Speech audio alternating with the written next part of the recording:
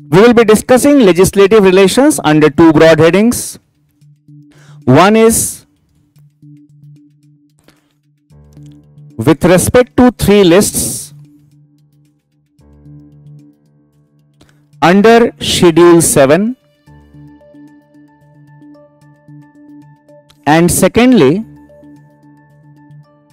center's control over state legislature.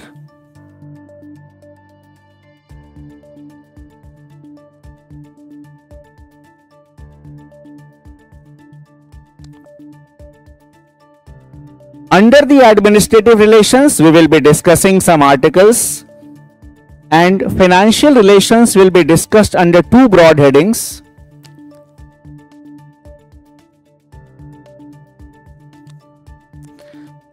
Distribution of revenue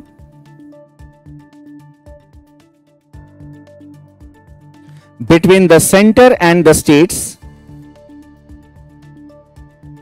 and grants in aid.